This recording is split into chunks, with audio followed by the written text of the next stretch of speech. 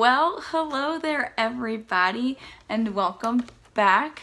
So, today we're going to be doing a really fun video. Uh, we're going to be celebrating Kesha's birthday. Her birthday is March 1st, and this video will be going out on March 1st.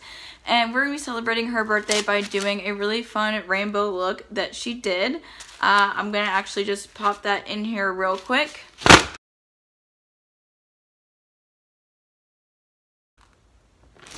All right, now that you saw it, here we are. So I'm to do that look.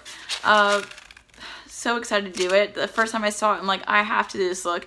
Hence why I'm wearing this robe because there's going to be a lot of colors flying everywhere and I don't want it to ruin any other clothing that I have.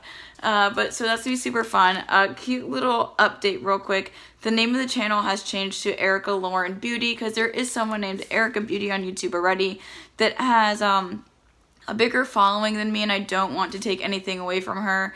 Uh, so just wanted to change it out of consideration. So we're Erica Lauren Beauty now. You can still call me Erica Beauty if you want, but the channel is going to be called Erica Lauren Beauty. Uh, other than that, let's hop right into this video and let's become Kesha. Glitter, rainbow, here we go. Alright, so I'm going to set my face with that uh, setting spray because I'm actually going to start with foundation and concealer this time. I know that is not normal, but because this look is going to kind of be all over my face, I want to just get the whole face part done with.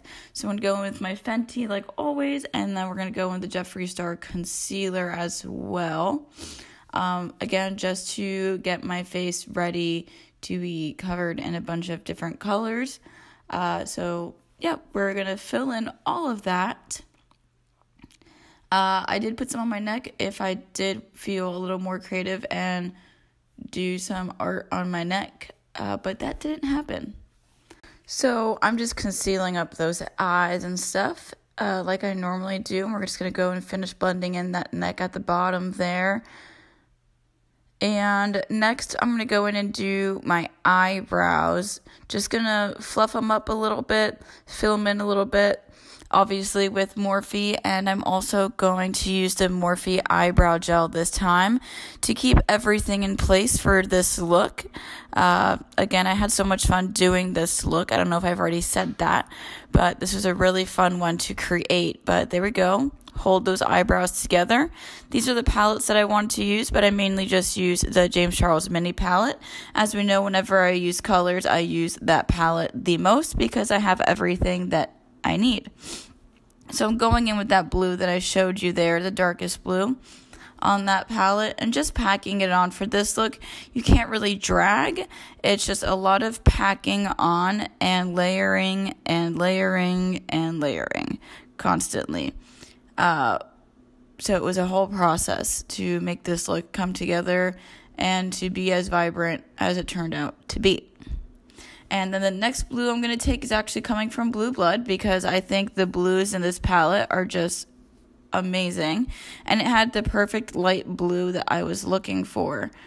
So I'm dragging it just to make the shape that I want. And then I'm going to continue packing on that shadow to create that bright, bright blue. Sorry, the lighting did change. The sun was moving around and it was a rainy day. So I had to keep changing the lighting around. But there you go, continuing to pack on the blue on the other eye. Again, um, this is all about layering. This whole process is layering and packing on as much as you can uh, to make the colors pop out as much as you can. Next, I'm going to take that yellow there. And that one really, honestly, you got to pack it on a lot because yellow tends to be a lighter color when you put it on your skin. Uh, but the yellow from the James Charles palette is honestly a really good yellow. And it was easy to pack on and to make bright, which I really admire about this yellow. So it made making this look come together a little easier when using that yellow. And next we're to use um, that bright red right there from this palette as well. And this one we are going to have to drag down because it's to be longer than the rest. And just keep packing it on where you originally dragged. There you go. Look at that. Just pack it all on.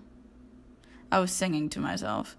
Uh, I'm weird like that. But, yep, so just packing that on there. We're going to do the same thing to the other side. We're going to do that red. Yep, dragging it and then packing it on. That is the key for that red section because you want to drag it to make sure you have the proper shape and then pack it on to make sure you have the proper color that you want.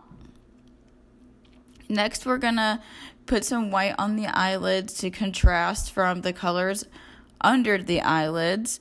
Uh, and I put some white in the inner corner. And the rest is going to just be a lot of creativity. I'm going to start painting my face with white eyeliner, and that was honestly really, really fun. So that's the next thing that we're going to be watching. I am taking that Morphe white eyeliner, and I'm going to draw uh, this circle around the middle of my forehead, and it's going to kind of look like a, a, third eye, I would say, if that's what uh, Kesha intended. But again, super fun to make, and I put my own twist on it, so that was also fun too. But yep, so I'm just making the little triangles that she had in the picture. And then at the end of that, I was like, you know what? Let me add some rhinestones to spice up the look. Uh, I love a good rhinestone moment. Rhinestones are always so much fun. So there I am going to go add in those rhinestones, a blue one right in the middle. And then I decided to pick two gold ones to put on the side. I'm going to put those on right now as I pick them out. There we go. It was hard to get them even, but you know, I just went with it. There they are. And then I decided to add some extra rhinestones under the eyes. And here we go with mascara. This is that mascara I spoke about in my uh, February recap that I'm starting to like a lot and that I've been using more often. Thank you, Stephanie, for bringing me this mascara. And that completes that look. It was so much fun to make, and I wish I could go out every day looking like this. Wow, this was honestly so much fun. Uh, I love Kesha. I've been listening to her since I was in seventh grade. So 12 years now I've been obsessed with her and I love all her work and oh this was just so inspiring. You know, this was her rainbow look for her rainbow album and this is just like so much fun, honestly. I did spice it up and add some like rhinestones and stuff uh, because I love rhinestones, but wow. I'm actually impressed. In the beginning, I was like, oh my god, I'm gonna hate this. I'm probably not gonna like it. But I am so impressed. I love it. oh, this is so cool. Wow. I'm in love. Thank you guys for watching this. If you liked it, please, please, please share this video. Like, comment, subscribe. Again, share. This was so much fun and it'd be so cool for people to see this. Uh, just, oh, that was so much fun. I can't. So yeah, please share, like, comment, subscribe, follow my Instagram to see pictures of this look because I'm going to take some pictures of it now. But thank you guys so much for watching and for continuing to watch. And thank you for all the new people coming to my channel. It honestly means so much. And happy birthday, Kesha! You're the MVP. You're the real one. I love her so, so, so much. Thank you, Kesha, for always being true to yourself and fighting for what you believe in. Happy birthday, sis. And that's it. I'll see you guys next time.